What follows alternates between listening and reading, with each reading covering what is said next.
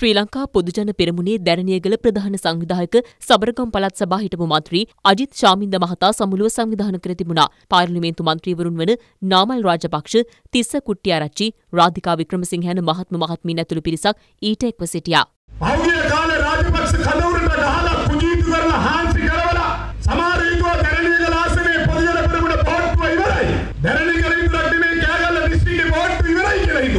ಪೀಡನೆಯ ಪತ್ಕರ್ಲ ಗಾಲ ಮರಲ ನವತ್ತನ್ನು ಬರುವ ಪಾಶ್ಚಾತ್ಯ ಶ್ರೀಲಂಕ ಹೋದಂತೆ ಸಿಂಗ್ ಪ್ರೇಮದ ಸಮಾಜ ನೈತ ಆವತ್ ಅನುರೂಪ ಬಿಸನಾಯಕ ನಿರೈ ಬಿಜಲಿನ ಒಳಗೆ ನೈತವಲ ಯಾವತ್ ಹೇಳ ಕೇಕ್ ಸಮಗ ಸದಂಗಿನೆ ಮೆದುವನ್ನ ಪೂಜೆ ಸದಂಗರನ ಅಪ್ಪಿ ಹಿದಿರಿ ಪತ್ಕರ್ನ ಬೋರ್ಪಿ ಅಪೇಕ್ಷೆಗೆಯ ನಿನ್ನ ತಪಸ್ಸೆಯ ಮಮ್ಮಿ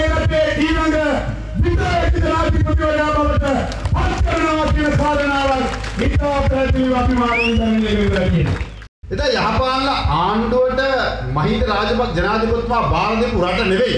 ගෝඨාභය රාජපක්ෂ ජනාධිපතිතුමාට අපේ හාමුදුරේ බාර ගන්න සිද්ධ වුණේ. කනගාටුවට කාරණය කියන්නේ දේශපාලනය කරන අයටත් ඒක අමතක වෙනවා. ඒ ආණ්ඩුව නියෝජනය කරපු අයටත් ඒක අමතක වෙනවා. මේ ගම්වල පාරවල් ටික හදන්න පටන් ගත්තේ මහින්දෝදේ විද්‍යාගාරයේ ගමට ගෙනාවේ තාක්ෂණ පීඨය හඳුන්වලා දුන්නේ. මේ සියල්ලම කරේ මහින්ද රාජපක්ෂ විදුලි බල ප්‍රශ්නයට ගෝඨාභය රාජපක්ෂගේ ආණ්ඩුවට මුහුණ දෙන්න සිද්ධ වුණා.